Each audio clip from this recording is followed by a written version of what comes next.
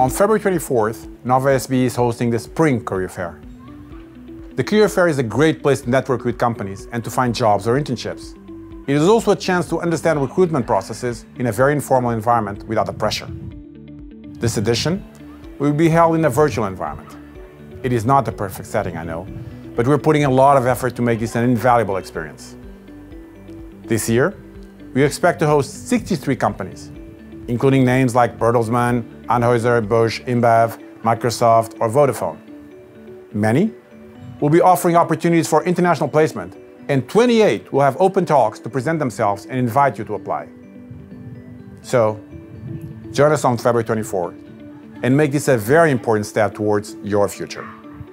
Thank you. I'll see you there.